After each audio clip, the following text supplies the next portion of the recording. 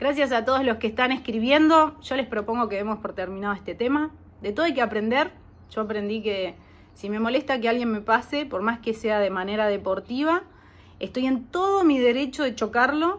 Y no importa si se pega contra un paredón, si rompe todo el auto, si se lastima o incluso si se mata. Total, después hacemos la carrera de homenaje y, listo, todo continúa.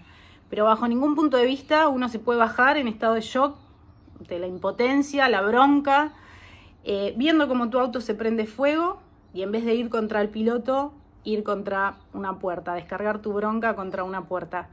Eh, en realidad creo que tendría que, ahí hice mal, tendría que haber ido contra el piloto, me quedó muy claro después de verlo a Ruiz y toda su mesa ahí en el programa Última Vuelta, cómo festejaban que dos pilotos en Estados Unidos se habían agarrado trompadas en una carrera, pero condenaban mi, mi reacción del fin de semana. Así que bueno, eh, hasta Satrasca entendió la maniobra, Satrasca hiciste un video tremendo.